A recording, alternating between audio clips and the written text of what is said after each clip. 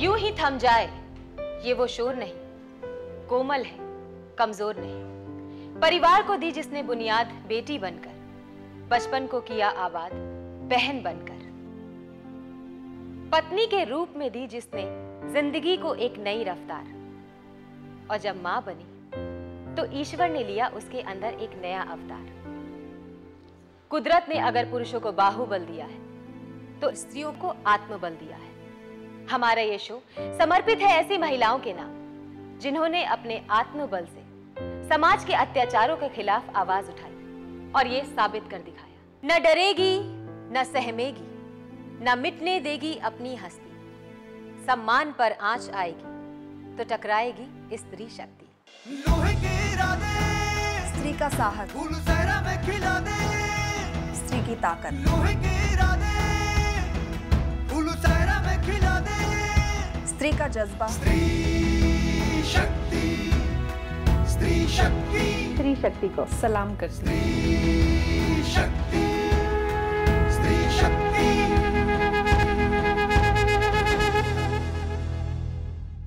स्त्री और पुरुष एक दूसरे के बिना अधूरे हैं। एक दूसरे को पसंद और नापसंद करने का हक दोनों को होता है।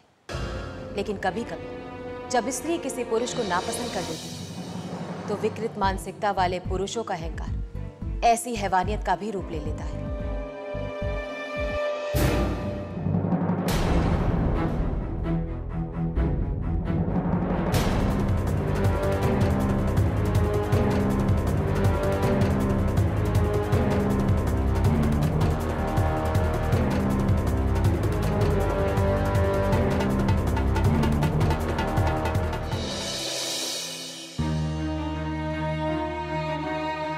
लड़की पर तेजाब फेंक कर उसके चेहरे को जलाना, अपने अंदर की जलन को शांत करने का कौन सा तरीका यह हैवानियत है वहशीपना है, दरिंदगी है।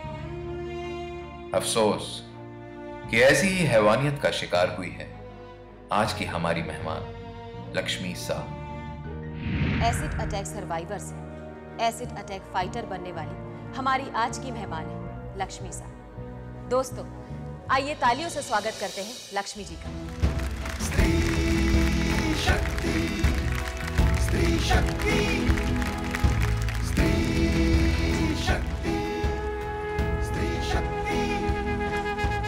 लक्ष्मी जी, आपका बहुत बहुत स्वागत है हमारे स्त्री शक्ति के इस मंच पर।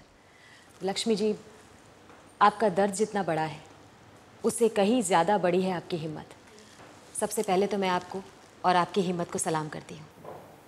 थैंक यू आप हमें ये बताइए कि आपके साथ ये हादसा कब हुआ? आ, ये हादसा मेरा 2005 में हुआ था। मैं उस टाइम पे सेवन्थ स्टैंडर्ड में पढ़ती थी और वो लड़का था जो 32 साल का था। उन्होंने मुझे शादी के लिए प्रपोज़ किया था। आप सेवेंथ क्लास में थे? हाँ। और सेवेंथ क्लास में आपको शादी के लिए प्रपोज किया? हाँ। वो मेरी दोस्त थी और उनका ही ब्रदर था और उन्होंने कब मुझे पसंद करना चालू किया कैसे पसंद करना चालू किया मुझे पता भी नहीं चला। तो मैंने उनको मना कर दिया और स्ट्रिक्टली कहा कि आज के बाद आप मुझसे कभी बात भी मत करना। और मैं आपको हमेशा भाई की नज़र से देखती हूँ, भाई बोलती हूँ। फिर उनसे बिल्कुल ही बात करना छोड़ दिया। उनके घर में एक ही सेल फ़ोन था, जो उनकी सिस्टर से उसी नंबर से बात हुआ करती थी। एंड देन दस महीने के बाद फिर से उन्होंने वही चीज़ किया, लेकिन दस महीने लगातार वो मुझे परेशान करते थे। मतलब मैं स्कूल जाती थी स्कूल से आती थी।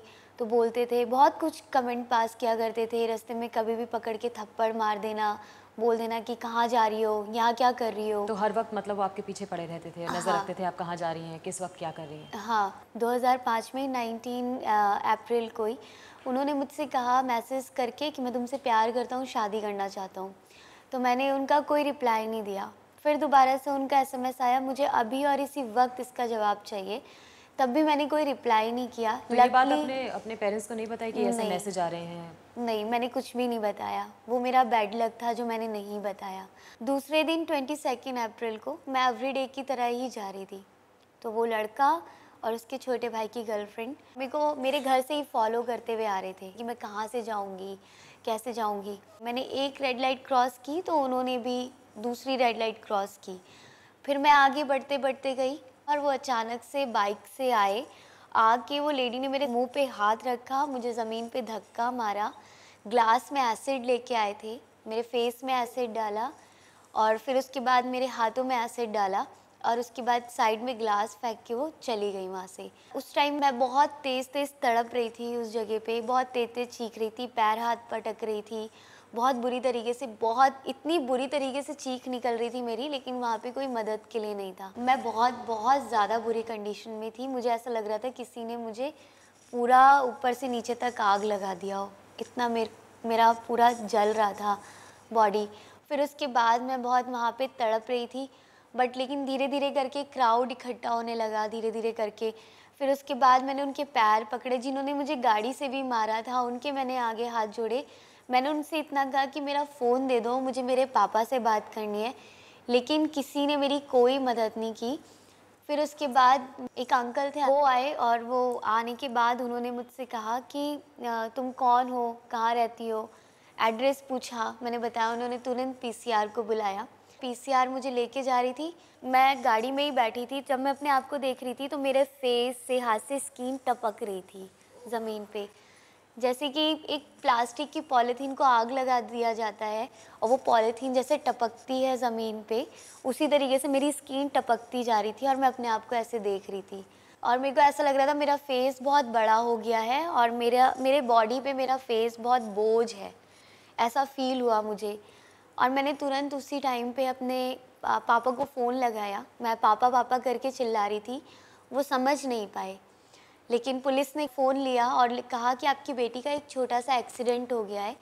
आप राम मनोहर लोहिया हॉस्पिटल आ जाइए। मैंने अपनी लाइफ में कभी हॉस्पिटल नहीं देखा था। बेहोश हो गई हॉस्पिटल देख के। लेके गए मुझे स्ट्रेचर से। तो मेरे ऊपर 20 बाल्टी पानी डाला गया। और उसके बाद जैसे ही मेरे पापा मम्मी आए, मेरी मम्मी की तो हालत बहुत ख़राब हो गई मुझे देख के। और उसके बाद मेरे जब मेरे पापा आए और उन्होंने मुझे गले लगाया उनकी पूरी शर्ट जल गई थी। बीस बाल्टी पानी डालने के बाद भी। और उसके बाद डॉक्टर ने कहा कि 48 घंटे का टाइम है कि मतलब कुछ चांस नहीं है। 45 परसेंट बर्न था। बहुत सीरियस कंडीशन थी मेरी। आईसीयू में तो नहीं रखा था इमरजेंसी में मुझे रखा गया था।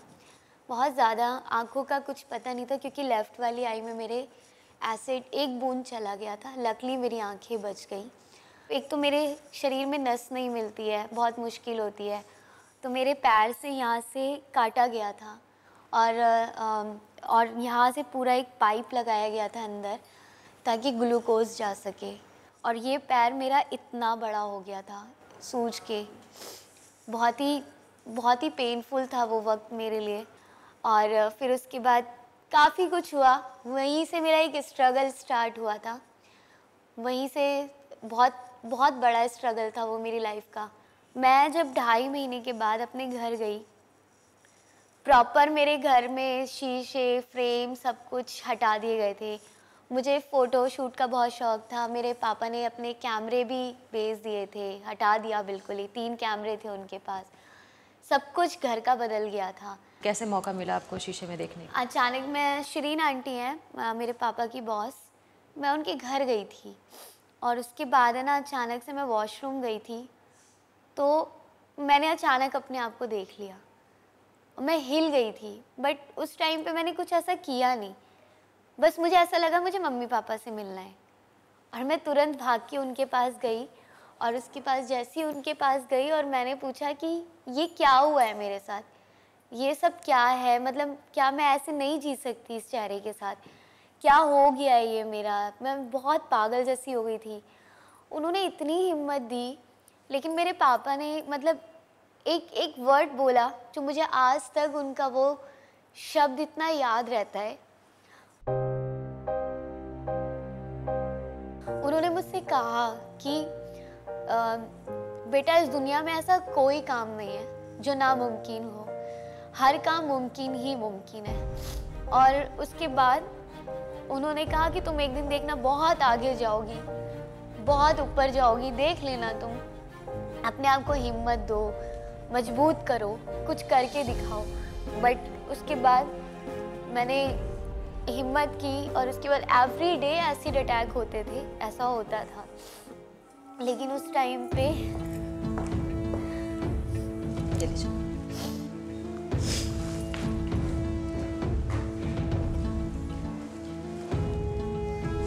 बहुत हिम्मत दिखाई है आपने।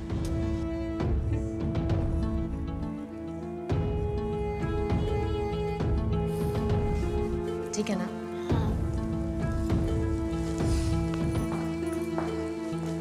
आपने अपनी जो हिम्मत दिखाई इस वक्त, जिस हिम्मत से आपने काम किया है, इतनी हिम्मती लड़की मैंने शायद अभी तक अपनी ज़िंदगी में नहीं देखी। उस बीच में ऐसा हुआ कि मेरे मतलब फैमिली ने पूछा, मेरी लॉयर ने पूछा और सबने मुझसे पूछा कि, लक्ष्मी, तुम क्या सोचती हो? तो मैंने उन लोगों से यही, मैंने बोला, क्या एसिड बिकना बंद नहीं हो सकता है? तब जाके हम लोगों ने सुप्रीम कोर्ट में एक पी डाला और 2006 में कि एसिड को बैन किया जाए। तो सात साल के बाद सुप्रीम कोर्ट से रिज़ल्ट आया कि लास्ट ईयर 18 जुलाई को कि एसिड ऐसे खुलेआम नहीं बिकेगा और जो भी लेगा उसके पास लाइसेंस होना चाहिए और जो बेचेगा उसके पास भी लाइसेंस होना चाहिए। जो भी 18 18 प्लस होना चाहिए, जो भी खरीदेगा और किस पर्पस से खरीद रहा है वो। ये आपका साहस है कि 2005 में आपके साथ ये हादसा हुआ और 2006 में आप उस कॉज के लिए लड़ रही थी। आपने पूरी कोशिश करी और और एसिड को मार्केट में आने से ही बंद करा दिया। बहुत बड़ी बात है और आज भी आप लड़ रही हैं उन्हीं लोगों के लिए कि ऐसा कुछ नहीं होना चाहिए। लक्ष्मी जी एक बात बताइए। इस दहशत से बाहर आने में आपको कितना वक्त लग गया? अम, मैं काफ़ी टाइम तक मतलब मेरा जो दिमाग था वो बच्चों की तरह हो गया था। एसिड अटैक फेस पे तो होता है लेकिन सिर्फ़ फिजिकली नहीं हम लड़ रहे होते इमोशनली भी हम बहुत ज़्यादा मेंटली बहुत डिस्टर्ब हो जाते हैं। क्योंकि उस वक्त में ऐसा होता है कि जो जो रिश्तेदार होते हैं, जो दोस्त होते हैं ना, सब लोग साथ छोड़ देते हैं। एक इतना बड़ा स्ट्रगल था मेरे लिए कि मैं इतना ज़्यादा हर तरीके से टूट गई थी। लेकिन फिर भी खेलना, कूदना, हर चीज़ मम्मी पापा मेरे साथ करते थे। मैं एक बच्ची बन गई तो वो भी मेरे साथ बच्चे बन गए थे। वो इतना ज़्यादा मुझे सपोर्ट करते थे। उस चीज़ से धीरे धीरे करके निकली और फिर कहा गया कि, लक्ष्मी, कुछ करो। तुम्हें कुछ करना चाहिए। मेरे पापा की बॉस ने बोला कि आप टेंथ में एडमिशन लो। आप करो ओपन से। मैंने टेंथ में एडमिशन लिया। साथ साथ मेरे पापा को स्टिचिंग का बहुत वो था। मेरे पापा को यही लगा कि हाथ का कुछ काम सीखो। आगे चल के हमें कुछ हो जाएगा तो कम से कम तुम भूखे नहीं मरोगे। जब मैं स्टिचिंग क्लास भी जा रही थी तो मैंने काफ़ी टाइम तक बुरखा पहन के मैं गई, क्योंकि इतना ख़राब मेरा फेस था, लोग लोग देखते क्या वो करते, उसका भी काफ़ी फ़र्क पड़ा था मुझ, मेरे दिमाग में भी और मुझमें। फिर वहाँ पे एक टेंथ में मैम थी तो उन्होंने मुझे सजेस्ट किया कि लक्ष्मी तुम्हें ब्लैक बोर्ड भी नहीं दिखता है। तो तुम एक काम करो, तुम एक बुरखा आता है हाफ़ तो तुम उसे वेयर किया करो, जो कि वो तुम्हारे लिए अच्छा होगा। तो ब्लैक बोर्ड वगैरह देखने के लिए। तो मैंने कहा, ठीक है। मैंने वो वेयर करना स्टार्ट किया तो मुझे काफ़ी इजी भी हो गया था उसे पहन के। आप ये बताइए कि आप आप जिस तरह से बुरखा पहन के बाहर निकलती थी तो ऐसा क्या हुआ? किस दिन आपने ये सोचा कि मैं बस अब खुल के दुनिया के सामने आऊँगी अब मैं और अपना फेस नहीं ढकूँगी? जब मैं ड्रेस वेयर करने लगी थी काफ़ी मुझे मेरे को मैं अपने ड्रेस के लिए भी बहुत थैंकफुल हूँ क्योंकि ड्रेसेस से भी बहुत हिम्मत मिलती है। मैं जब पटियाला वेयर करती थी तो मुझे एक अलग फीलिंग आती थी। मुझे अच्छा लगता था, मुझे ऐसा लगता था, क्यों ना मैं फेस ओपन करके चलूँ? मेरे काफ़ी हेयर लॉन्ग थे। मेरे अटैक के बाद मेरे बाल बहुत काट दिए गए थे और बाद में मेरे हेयर काफ़ी लंबे हो गए थे। तो मुझे लगता था कि मुझे निकलना चाहिए। तो मैं निकलने लगी और मुझे अच्छा लगने लगा। लोग बोलते थे तो उनकी बातों को मैं नेगेटिव वे में नहीं लेती थी। और जो बोलता था, कम से कम मेरे पे ध्यान तो रखता था वो इंसान। तो मैं हमेशा ही उनके लिए भी मैं मतलब जितनी भी हमारी सोसाइटी के लोग हैं उनके लिए भी बहुत ज़्यादा थैंकफुल हूँ क्योंकि ना वो मुझे नेगेटिव करते और ना मैं पॉजिटिव होती। सही बात है। आप ये बताइए कि जिस दरिंदे ने आपके साथ ये हरकत की उसके खिलाफ क्या एक्शन किया गया? क्या क्या किया आपने उसके अगेंस्ट कौन से कदम उठाए? 2005 में ये केस हुआ था। 2009 में लड़के लड़के को 10 साल की सज़ा हुई है।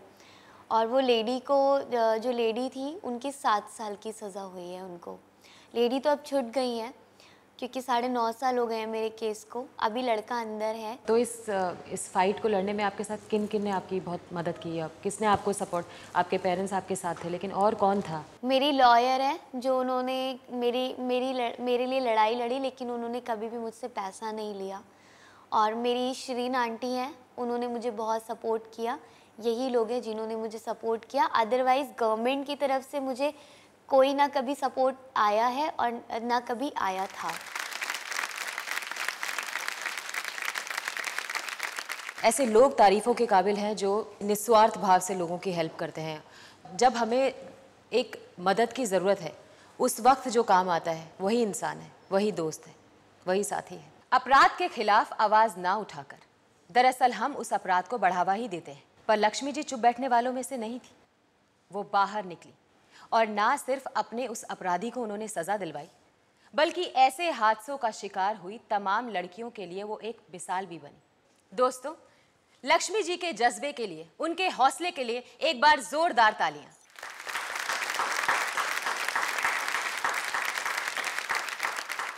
आपने जो कैंपेन ज्वाइन किया था, स्टॉप एसिड अटैक उसकी शुरुआत कैसे हुई? 2013 में स्टॉप एसिड अटैक कैंपेन से जुड़ी। और मैं जो करना चाहती थी, वो वो सब मैं नहीं अकेले कर पा रही थी। क्योंकि बहुत सारे ऐसे लोग थे जो दबाव डालते हैं, कुछ नहीं करने देते हैं। फिर मैं ऐसे चार लोगों से मिली जिन्होंने ये कैंपेन स्टार्ट किया और वो बहुत यंग पर्सन थे। और वो लोग स्टॉप एसिड अटैक कैंपेन उन्होंने स्टार्ट किया था आठ मार्च को। मैंने कभी भी अपने अलावा कभी भी किसी एसिड अटैक सर्वाइवर को नहीं देखा था। जब मैं उस कैंपेन में 19 मई को गई, उस टाइम पे छाँव लॉन्च हुआ था। एक और जो एनजीओ है आज हमारा, वहाँ पे मेरे अलावा पाँच छः सर्वाइवर और थी। किसी की आँख नहीं थी, किसी की एक आँख नहीं थी। लास्ट ईयर सुप्रीम कोर्ट का डिसीज़न आया था काफ़ी टाइम के बाद, क्योंकि जब मैं सास से मिली थी तो उसके बाद जब सारी लड़कियाँ मिलके ये नहीं था कि लक्ष्मी का केस है तो हम नहीं जाएँगे। सारी लड़कियाँ जाती थी प्रोटेस्ट करती थी सुप्रीम कोर्ट के सामने। तब 9 जुलाई को फ़र्स्ट हमारे लिए फ़र्स्ट था। तब हम लोग गए तो सुप्रीम कोर्ट ने उस दिन कोई जजमेंट नहीं दी। उसके बाद सुप्रीम कोर्ट ने 16 जुलाई को गवर्नमेंट को फटकार लगाई कि सात साल से ये केस चल रहा है और इस पर कुछ भी नहीं हुआ है। मुझे अभी और इसी वक्त में मुझे चाहिए लिस्ट आउट करिए कि क्या होना चाहिए। और वहाँ पे फैसला सुनाया गया। हाँ तो उस दिन तो नहीं सुनाया गया लेकिन 18 जुलाई को गवर्नमेंट कैसे ना कैसे करके एक कुछ भी स्टेटमेंट बना के ले आई और उनको दे दिया कि एसिड मतलब बैन नहीं हो सकता एसिड के बिना ये नहीं हो सकता वो उन्होंने जो भी कुछ था। लेकिन फिर सुप्रीम कोर्ट का ये डिसीज़न रहा कि एसिड इतने ईजिली खुलेआम नहीं, नहीं बिक सकता। और वहीं पर उन्होंने बैन लगा दिया इसमें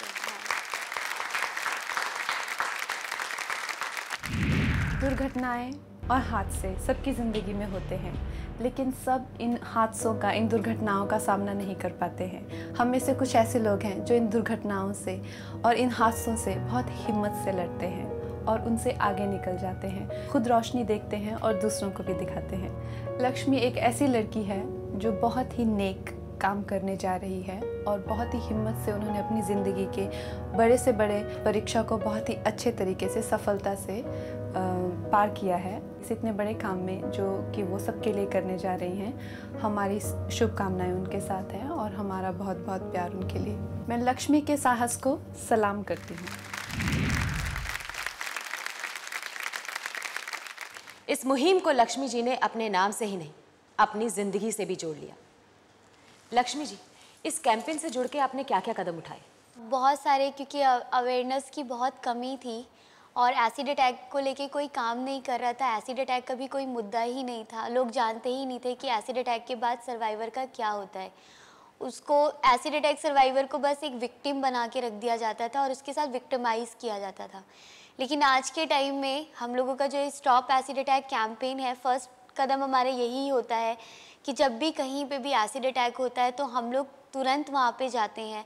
और जो भी हमें मालूम है कि शुरुआती दौर में कि ट्रीटमेंट की कितनी ज़रूरत पड़ती है, और ये सारी चीज़ें हम लोग वहाँ पे, चाहे हमें डॉक्टर से लड़ना पड़े, चाहे हमें पुलिस से लड़ना पड़े, शुरुआत से हम लोग सपोर्ट करते हैं।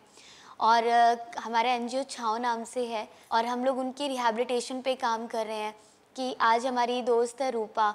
रूपा इस टाइम पे फ़ैशन डिज़ाइनर है। रितु है कार्ड डिज़ाइनर है। हम लोग हमेशा ड्रीम्स को फॉलो करते हैं। हम लोग ये नहीं जैसे कि सपोज़ मुझे सिंगर बनना था नहीं तुम सिंगर नहीं बन सकती हो ये वाला काम नहीं है हमारे इधर। तुम्हें जो बनना है तुम्हें पूरी आज़ादी है। मतलब आप हार नहीं मानते हो आप हाँ। अपने सपनों को जीते हो। बहुत बड़ी बात। अच्छा लक्ष्मी जी ये बताइए एसिड बिकने बंद हुए हैं मार्केट में? ये सब जानने के लिए आपने कोई कदम उठाए? बिल्कुल, हम लोग जा रहे हैं जगह जगह जा रहे हैं और हम लोग आरटीआई फ़ाइल करते हैं। कि हम लोग और हम लोगों ने एक शूट एसेट करके कैंपेन भी स्टार्ट किया है. इवन मैंने सुप्रीम कोर्ट के डिसीज़न के बाद भी मैंने खुद जाके एसिड खरीदा है. मुझे बहुत आराम से पंद्रह रुपए का एसिड मिला है.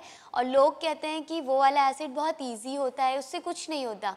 बल्कि जो एसिड मैंने खरीदा, उसको जैसे ही मैंने ज़मीन पर डाला, वो ज़मीन पूरी नीली पड़ गई थी. और उसका जो धुआँ था, वो बिल्कुल आँखों में जाके साइड इफ़ेक्ट हो रहा था उस धुएँ से. हम लोग क्या कर रहे हैं? मोबाइल फ़ोन से ही। हमें नहीं चाहिए कि कोई छोटा कैमरा हो कुछ। मोबाइल फ़ोन से ही हम लोग जाते हैं दुकानों में और अपने उसको जेब में रखते हैं और उसके बाद हम लोग दुकानदारों से कहते हैं कि हमें एसेट चाहिए, वो एक फुटेज हमें मिलता है। वो लोग फुट, देते हैं हमें, कहीं पॉजिटिव आंसर मिला है, कहीं नेगेटिव आंसर मिला है हम लोगों को। दोस्तों, ये जानकर बड़ा ताजुब होता है कि सुप्रीम कोर्ट का जजमेंट होने के बाद कि खुले हम एसिड नहीं मिलेगा, उसके बाद भी इस तरीके से बिक रहा है। अच्छा लक्ष्मी जी इस कैंपेन से किसी को जुड़ना हो वॉल्टियर करना हो तो वो वो तरीका क्या है अभी हम लोगों ने खुद ही एक वेबसाइट बनाई है पल्टन डॉट इन वो बहुत इजी हो गया है वॉल्टियर्स के लिए और वॉल्टियर को हम तक पहुँचने के लिए उसमें क्या किया गया है जो भी स्किल्स है आपके पास वो आप उसमें क्लिक करेंगे और आप पल्टन ज्वाइन कर लेंगे अच्छा। और वो एडमिन तक पहुंचेगा वो एडमिन आपको फिर टास्क देना स्टार्ट कर देगा कि आप ये काम कर सकते हैं ये काम कर तो आपको सकते। किस तरह का रिस्पांस अच्छा आता है इसमें? लोग बहुत आते अच्छा हैं। कि पलटन से बहुत बढ़िया रिस्पांस आया अब तक। कोई आता है कोई सर्वाइवर के दोस्त बन जाता है कोई आके हमें ग्रेफिटी में काम करता है कोई वेबसाइट में काम करता है बहुत सारे काम है। जैसे रूपा फ़ैशन डिज़ाइनिंग कर रही है तो उसके साथ आके कोई जुड़ गया है काम कर रहा है। हर चीज़ है सारी चीज़ें हैं। मैं हमारी जनता से ये अनुरोध करना चाहूँगी। कि इस वेबसाइट पर जाएँ और ज़्यादा से ज़्यादा इस कैंपेन से जुड़ें। स्टॉप एसिड अटैक वॉल्टियर करें और आप जो भी कर सकते हैं, जैसे भी कर सकते हैं हेल्प करें। दोस्तों, ऐसी बहुत सी एसिड अटैक सर्वाइवर्स हैं, जिनको लक्ष्मी ने दोबारा से ज़िंदगी जीने की हिम्मत दिलाई। आइए, ऐसी ही दो साहसी एसिड अटैक सर्वाइवर से आपको मिलवाते हैं। मेरा नाम रूपा है और मैं यूपी की रहने वाली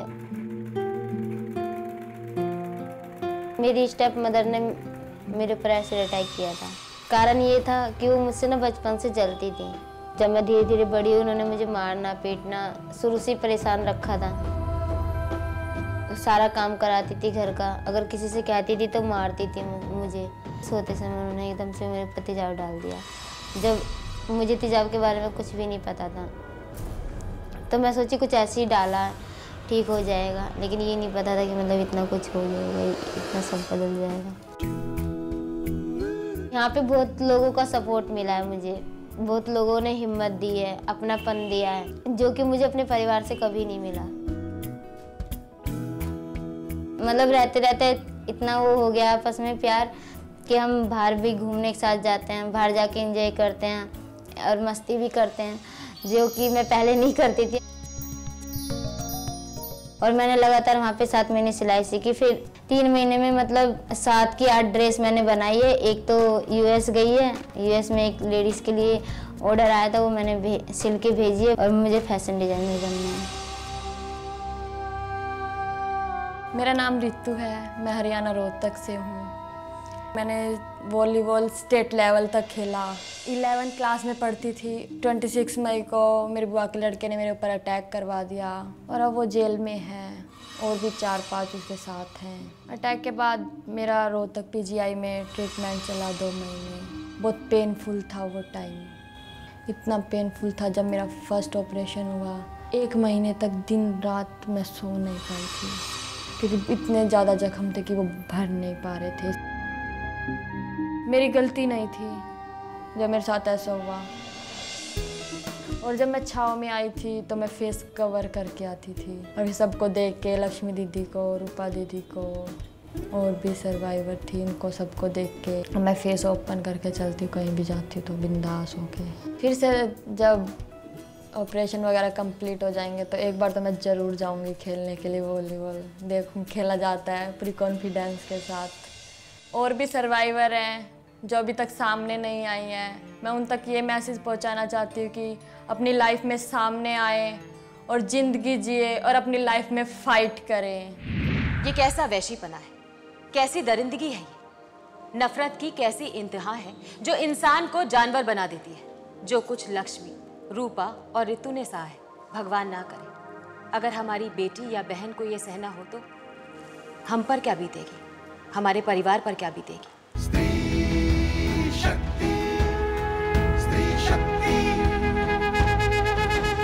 वेलकम बैक टू स्त्री शक्ति ये दरिंदगी बंद होनी चाहिए। और ऐसी सोच सिर्फ़ हमारी नहीं, समाज के और भी कई लोगों की है। इस वैशियाना जुर्म के बारे में जब खुद लक्ष्मी ने लोगों से बात की तो आइए देखते हैं, क्या सुनने में आया।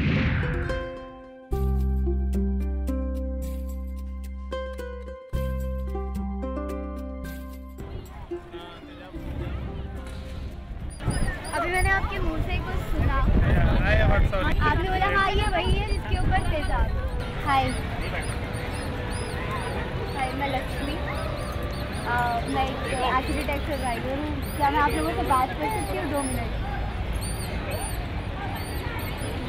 दो मिनट बात कर सकती हूँ उन्होंने मना कर दिया क्लियर सुन तो लीजिए एक मिनट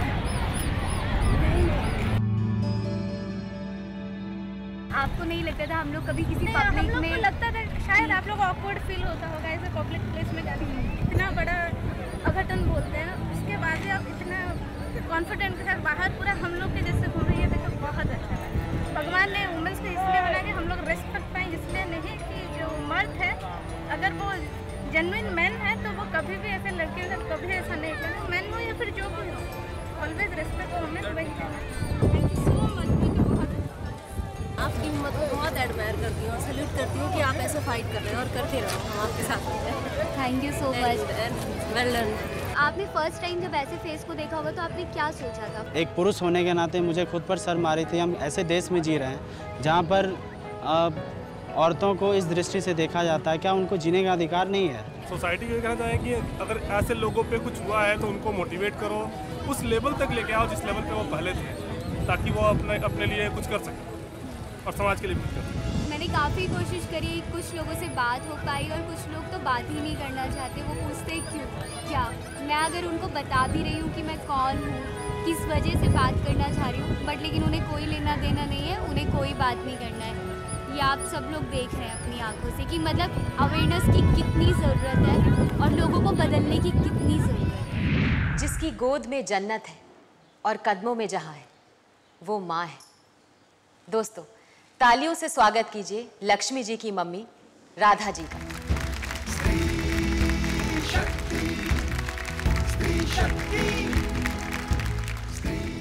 राधा जी स्त्री शक्ति के मंच पर आपका बहुत बहुत स्वागत है। राधा जी लक्ष्मी जी के साथ जो भी हुआ जो हादसा हुआ वो इनके साथ साथ आपके लिए भी एक बहुत बड़ा सदमा रहा होगा।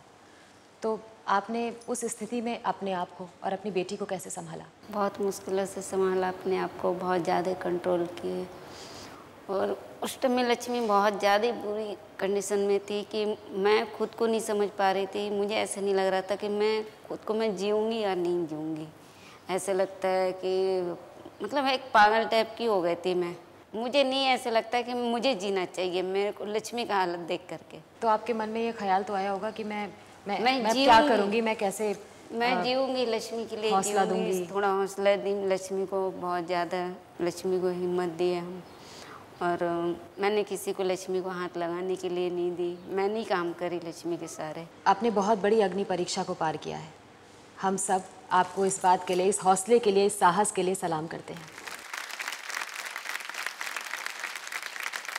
जिस हादसे के बाद लड़कियाँ ज़्यादातर सुसाइड करने की सोचती हैं। उनको जीने की कोई तमन्ना ही नहीं रह जाती। ऐसे में आज वो लक्ष्मी को देखकर उसकी हिम्मत को देखकर जी रही हैं। कितना फ़ख्र होता है आपको अपनी बेटी बहुत ज़्यादा फ़ख्र है होता है मुझे। और मैं भी ये भी चाहती हूँ कि और भी माँ उसको जैसे उनकी मम्मी भी और भी लड़कियाँ उनकी मम्मी उसे भी बाहर निकाले। वो भी हमारी बेटी है। खाली हमारी बेटी नहीं हमारी सारी बेटी है। जितने सबके साथ में जो लड़, जो लड़कियों के साथ हुआ है वो भी अपनी हिम्मत ना हारे। अब मैं हमारी स्टूडियो में बैठी जनता से ये ये उनको मौका देना चाहूँगी। अगर उनके दिल में कोई सवाल है या वो कुछ जानना चाहते हैं तो वो लक्ष्मी से पूछ सकते हैं। आपका नाम बताइए और मैम मेरे नाम सिद्धि है। मैं लक्ष्मी जी से पूछना चाहती हूँ कि अगर हमारे सामने ये हादसा होता है तो हमें फ़ौरन क्या करना चाहिए? सबसे पहला ट्रीटमेंट यही है कि आप जितना हो सके उनके ऊपर पानी डालिए। जितना हो सके और जिस अंग पे डला है अगर फेस पे डला है तो आप उनके फेस पे डायरेक्ट पानी मत डालिए। उस जगह को झुका के और जितना हो सके उतना पानी डालिए। ये सबसे पहला ट्रीटमेंट है और उनको फिर दूसरा ट्रीटमेंट ये है कि फटाफट हॉस्पिटल ले जाया जाए। थैंक यू लेकिन जले के ऊपर तो पानी नहीं डालते हैं तो एसिड के ऊपर पानी डाल जले हुए का एक अलग होता है एक एसिड अटैक का एक अलग होता है। एसिड जो होता है एक केमिकल होता है और उसे पानी ही उसको साफ़ कर सकता है। आप जैसे मेरा फेस देख रहे हैं मेरे ऊपर आधा बॉटल शुरुआत में जब पानी डाला गया था हाँ। तो ये यहाँ पे डाला गया वो पानी ऐसे बह के और वो सीधे यहाँ आ गया। तो ये ये पानी की वजह से जल ये पानी की वजह से जला है इतना खतरनाक। तो इसीलिए मैंने कहा है कि हमेशा मेरे फेस पे डला था तो मेरे मुझे अगर झुका के फेस पे पानी डाला होता तो मेरे किसी भी अंग अंग पे नहीं जाता। वो सिर्फ़ उधर से तो ये जो ये जो आपका हाथ जला है ये सब पानी की वजह से? नहीं नहीं यहाँ पे डाला उन्होंने डाला गया डा, जानबूझ करके एसिड डाला है। शक्ति स्त्री शक्ति। और अगला सवाल किसका है? कौन पूछना चाहते हैं? अगर हम लड़कियों को कोई लड़का बार बार परेशान करे तो हमें क्या करना चाहिए? आप सबसे पहले अपने पेरेंट्स से बात करिए क्योंकि अगर आप अपनी दोस्त को बताएँगे आपकी दोस्त भी बिल्कुल हम उम्र है। और वो भी शायद कुछ ना कर पाए। तो सबसे ज़्यादा ज़रूरी है कि आप अपने पेरेंट्स से बात करिए। अगर वो कोई एक्शन नहीं लेते हैं, पुलिस भी बोल देती है कि तुम मत निकलो बाहर, मत ऐसा करो। पुलिस भी मना कर देती है। तो बहुत सारे हेल्पलाइन नंबर है वेमेन हेल्पलाइन नंबर आप उसमें कॉल करिए। अगर वो लोग भी नहीं सुनते हैं, वो तुरंत सुनेंगे वैसे। अगर वो नहीं भी सुनते हैं तो ऐसे बहुत सारे लोग हैं जो मदद के लिए आगे आते हैं। ऐसे मेरे पास भी बहुत सारे केस आते हैं कि हमें ऐसा ऐसा प्रॉब्लम है। तो अभी इंपॉर्टेंट ये है कि बच्चों से ज़्यादा काउंसलिंग पेरेंट्स की होनी चाहिए। क्योंकि जो उनकी सोच है ना वो बदलनी सबसे ज़्यादा ज़रूरी है। बिल्कुल तो सही बात है। आपको काउंसलिंग की सबसे ज़्यादा ज़रूरी है और आप ऐसा भी कर सकते हैं अपने पेरेंट्स को भी काउंसलिंग दिलवाइए ताकि उनका जो माइंड है ना वो फ्रेश होगा। लक्ष्मी की बात सुनकर मैं हमारी जनता से स्पेशली लड़कियों से ये अनुरोध करना चाहूँगी कि आपके साथ अगर ऐसा कुछ भी हो रहा है, कोई आपका पीछा कर रहा है, कोई आपको परेशान कर रहा है तो आप प्लीज़ अपने पेरेंट्स को बताइए सबसे पहले। अगर आप बता देंगे तो ऐसे बहुत से हादसों को हम रोक सकेंगे। हम लोगों ने अभी एक पेपर स्प्रे लॉन्च किया है और पेपर स्प्रे पॉकेट में भी आप रख सकते हैं अपनी सेफ्टी के लिए उसको।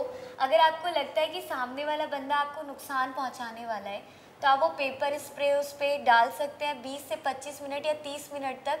वो अपने आप को संभालेगा ना कि आपका पीछा करेगा। और आप वहाँ से निकल सकते हैं और जाके उसके नाम की एफ़ आई आर दर्ज की करा आप में से कौन है जो लक्ष्मी से बात करना चाहते हैं? जी। मेरा सवाल आंटी जी से है। मैं उनसे पूछना चाहूँगा। एसिड अटैकर ऐसे अपराधी को सिर्फ़ 10 साल की सज़ा। क्या आपको लगता है ये उसके लिए काफ़ी है? तो उसे सज़ा काफ़ी मिलना चाहिए उसको। ज़िंदगी भर के लिए सज़ा मिलना चाहिए। और मुझे तो ऐसे लगता है कि उसे या फांसी मिलना चाहिए या एसिड उसे की उसके ऊपर फेंकना चाहिए। जब उन्हें भी पता चलेगा कि दर्द क्या होता है। मैं भी दर्द से झेल रही हूँ ये भी दर्द इसे भी दर्द होता है। वो भी इंसान है एक और हम भी इंसान हैं। ऐसे कैसे कर सकता है वो? उसे सुप्रीम कोर्ट को देख करना चाहिए यही। हाँ। जज को। वो माँ है और मैं ये मानती हूँ कि माँ का अपना एक दर्द होता है। और ऑफ़ कोर्स जब शुरुआत में एसिड अटैक होता है तो शुरुआत में लड़की भी यही बात कहती है कि जो मेरे साथ हुआ है वो उसके साथ भी हो। लेकिन उसमें और हम में कोई फ़र्क नहीं रह जाएगा। मैं कानून और गवर्नमेंट की बाद में बात करूँगी। सबसे पहले मैं बात करूँगी अपनी सोसाइटी की अपने समाज की। वो सम वो क्रिमिनल कहीं और से नहीं आता है। हम सबके बीच में से ही निकल के आता है वो क्रिमिनल। सही बात। तो हमें देखना होगा। मेरे ऊपर भी जिसने अटैक किया था वो कहीं बाहर से नहीं आया था। वो वो वो वही था जिसको मैं भाई बोलती थी उसने कब अपना नज़रिया बदला। तो बेसिकली हमें सोच बदलने की ज़रूरत सोच है। बदल बदलना चाहिए जो हमारी जो मेंटालिटी है ना वो बहुत खराब है। उसको सच में बदलना चाहिए। और रही कानून की बात रही दस साल की बात फास्ट ट्रैक कोर्ट बनना चाहिए। और तीन महीने के अंदर ही अंदर पनिशमेंट देनी चाहिए। कानून को सख्त होना पड़ेगा वरना कानून मेरे केस में चार साल के लिए सिर्फ़ उन्होंने गैप दे दिया और उसके बाद दस साल की सजा। की सजा दी। ऐसे में बहुत सारे मेरे केस में ऐसा हुआ है जो दस साल की सजा हुई है। इस बीच में तो और भी केसेस हो बहुत सारे जो हो गया। केसेस हैं अभी के केसेस में हुआ है 326 जो एक्ट लगे हैं उसके मुताबिक अब बेल नहीं मिल सकती है। अब बेल भी नहीं है। आप 10 साल के लिए एसिड अटैक पे गए अंदर। तो लक्ष्मी की बात से मैं ये बोलना चाहूँगी हमारे समाज को ये अनुरोध करना चाहूँगी बोलना चाहूँगी कि हमें अपनी सोच को बदलने की ज़रूरत है नज़रिए को बदलने की ज़रूरत है भेदभाव को ख़त्म करने की ज़रूरत। शरीर के ज़ख्म तो फिर भी वक्त के साथ भर जाते पर आत्मा पर लगे ज़ख्म कभी भी नहीं भरते। एसिड अटैक एक ऐसा ही अपराध है। हमारा आज का सवाल है, लक्ष्मी जिस एसिड अटैक कैंपेन के साथ जुड़ी है, उसका नाम क्या है? अगर आप में से किसी भी महिला ने जुर्म और अत्याचार के खिलाफ आवाज़ उठाई या फिर समाज में सुधार लाने के लिए कोई भी कदम उठाया तो आप हमें ज़रूर लिखिए। हम आपको स्त्री शक्ति के मंच पर बुलाएँगे। और हमारा पता आपकी टेलीविज़न स्क्रीन पर। यहाँ रुकेंगे हम एक छोटे से ब्रेक के लिए। ब्रेक के बाद हम लक्ष्मी को देंगे उनकी ज़िंदगी का एक बेहतरीन सरप्राइज़ और क्या है वो सरप्राइज़ आइए, देखते हैं इस छोटे से ब्रेक के बाद।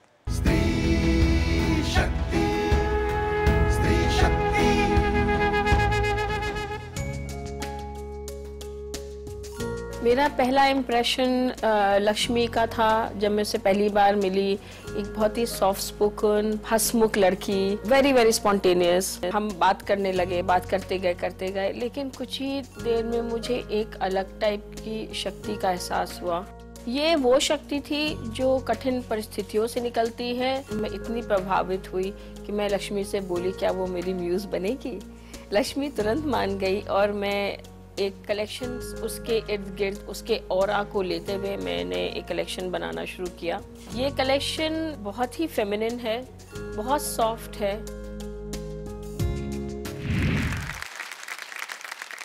हमारे आज के मेहमान म्यूज़िक इंडस्ट्री के एक ऐसे नाम हैं, जिन्होंने म्यूज़िक को दिए कई नए आयाम। इंडिया में हिंदी पॉप म्यूज़िक शुरू करने से लेकर क्लासिकल फ्यूजन का ट्रेंड लाने वाले। रीमिक्स की मस्ती से लोगों को झुमाकर, टीवी जिंगल से दर्शकों को हंसाने वाले। दोस्तों, आइए तालियों से स्वागत करते हैं हमारे आज के मेहमान, लेजली लुइस जी का।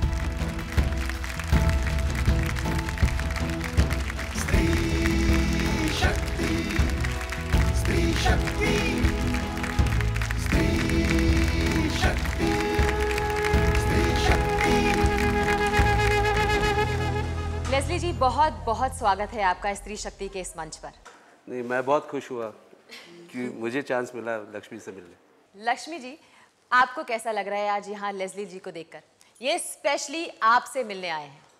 मुझे बहुत खुशी हो रही है और मैं धीरे धीरे करके बोलूँगी। क्योंकि मैं उनको देख के ही बहुत अंदर से ही मतलब बहुत ज़्यादा हैप्पी हूँ तो मैं इतना ज़्यादा नहीं बता पा रही हूँ। एक्सप्रेस नहीं कर पा हाँ और मैं बहुत धीरे धीरे करके बता पाऊँगी। अपनी खुशी को ज़ाहिर करूँगी। Exactly exactly. अच्छा लेजली जी जैसे कि आप जानते हैं लक्ष्मी जी एक एसिड अटैक सर्वाइवर से एक एसिड अटैक फाइटर बनी। इन्होंने अपने मुजरिम को सज़ा दिलवाई और अपनी जैसी कई लड़कियों के उनके हक के लिए ये फाइट कर रही हैं। तो आप इनके बारे में क्या कहना चाहेंगे? एक तो मैं कहता हूँ कि ऐसे लोग जो है जो अ, जो बात में बिलीव करते हैं, और एक तो उनको हुआ है तो और मतलब जो अटैक उनको हुआ है तो उनको महसूस है कि ये क्या होता है। हम समझते नहीं, हम वो जो कहते हैं, हमको बताते तो हम समझते हैं। नहीं तो हमको पता नहीं एसिड अटैक क्या है। एंड मुझे लगता है कि ऐसे लोग, जैसे लक्ष्मी ने ये स्टार्ट किया है कि हम अवेयरनेस इसकी आगे बढ़ाएँ। लीगल सिस्टम को चेंज करें कि एसिड बैन कराए। तो I think it's commendable it's fantastic तो लक्ष्मी जी आप कुछ कहना चाहेंगी लेजली जी से? आ, मैंने कभी अपनी लाइफ में मैं आज 24 एज की हूँ और मैंने आज तक सिंगिंग नहीं सीखी है तो मुझे सिंगिंग का ए बी सी भी नहीं मालूम तो है। आप मेरे स्टूडियो में आ जाइए। एनी टाइम यू वेलकम देखो आपको तो एकदम ओपन इनविटेशन है। नहीं तो मैं मैं तो ये तो कहती है कि मुझे सिंग मुझे लगता है कि इंडिया में बहुत टैलेंट है। और जो टैलेंट एक तो दबा हुआ है कि बहुत से पेरेंट्स ने उनके बच्चों को एक, एक अच्छी तरीके से सोचा कि अब उनको स्टडी करना है ये बनना है डॉक्टर लेकिन म्यूज़िक सीरियस नहीं लेना है। मतलब टाइम पास के लिए ठीक है। और I think India is very talented and I am sure she she can sing बहुत गा सकती है। हाँ ये गाती हैं इनको बहुत शौक भी है गाने का है ना? हाँ। ऐसे ही नॉर्मली गाने का मौका मिल जाता है। अदरवाइज़ मैंने आज तक कहीं प्रोफेशनली नहीं गाया ना मैंने सीखा है। और मैं हमेशा मैं यही सोचती हूँ कि मैं कब मतलब कहते ना कि सबसे ज़्यादा तुम्हारे अंदर जो एक चीज़ पाने की चाहत होती है वो मेरे अंदर यही है कि कब मैं संगीत को पाऊँगी। तो मैं आपको एक कब- एक एक आइडिया देता हूँ। अब आप मेरे स्टूडियो आइए मैं आपके लिए गाना कंपोज करूँगा और आप वो गाना गाइए और वो हम पब्लिक के सामने रिलीज़ करें। क्या बात it's a deal it's a deal पक्का? और मैं बहुत ज़्यादा खुश हूँ इस बात को लेके और आपने मुझे ये मौका दिया है और मैं ज़रूर आऊँगी। शक्ति स्त्री शक्ति। मुझे ये नहीं पता कि कंपोज किसे कहते हैं कंपोज करना क्या होता है तो आप मुझे इसके बारे में एक बार बताइए। जो म्यूज़िक जब होता है, एक तो कॉम्पोजिशन होता है, जो गाने का जो जैसे स्टोरी होता है तो एक नोट्स म्यूज़िकल नोट्स जो है, जो कैसे जोड़े जाते हैं और उसका ट्यून जो बनता है, वो कॉम्पोजिशन होता है। मैं, मैंने सोचा कि मैं एक पुराना कॉम्पोजिशन में आप लक्ष्मी के लिए गा लूँ। ओके बिल्कुल।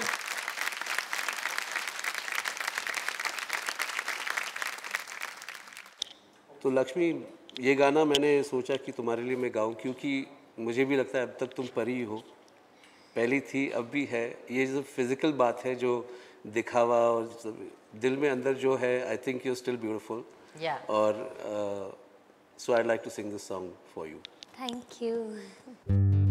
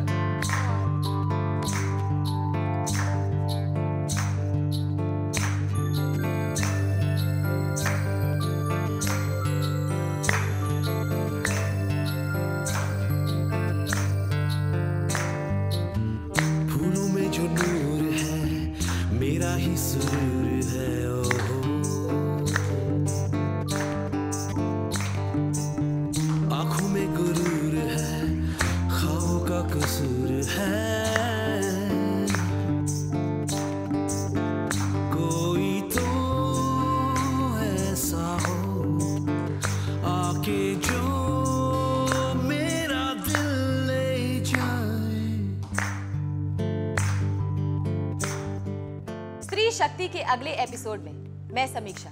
हाजिर होंगी हिम्मत की एक और दास्तान, एक और मेहमान के साथ। तब तक के लिए खुश रहिए और खुशियाँ बांटिए। शुभ रात्रि।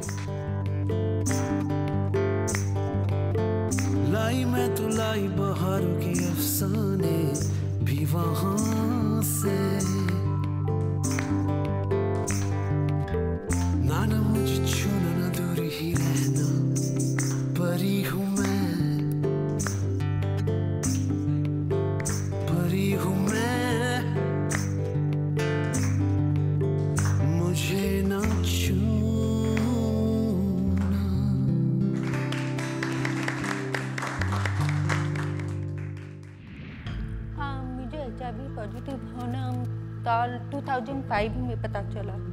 जब मैं तीन महीने गर्भवती थी और मुझे ज़बरदस्ती चौथी बार अबॉर्शन के लिए ले जाया जा रहा था। जब आपका एबॉर्शन हो रहा था वो वक्त आपके लिए कितना मुश्किल था? मुझे मानसिक प्रताड़न की वजह से मैंने अपने आप को भी मार डाला था वो मैंने हाथ जो मैंने काट दिया था तो वो बोले कि अगर तुमको आत्महत्या करना है तो तुम बाहर जाके करो ये घर में मत किया करो।